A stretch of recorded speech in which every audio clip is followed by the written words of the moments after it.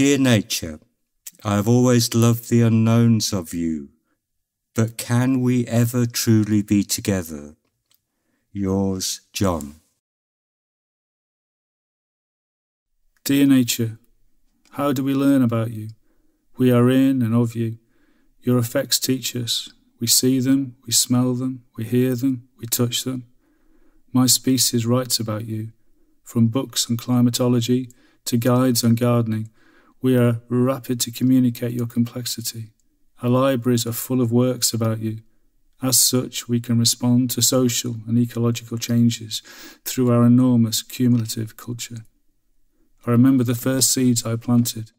I found the process of this tiny seed becoming a plant entrancing. It helped me build a relationship of sorts with you. I learnt a new language from this and many other experiences of you. It is learning that deepens our love. Thank you. Yours, John.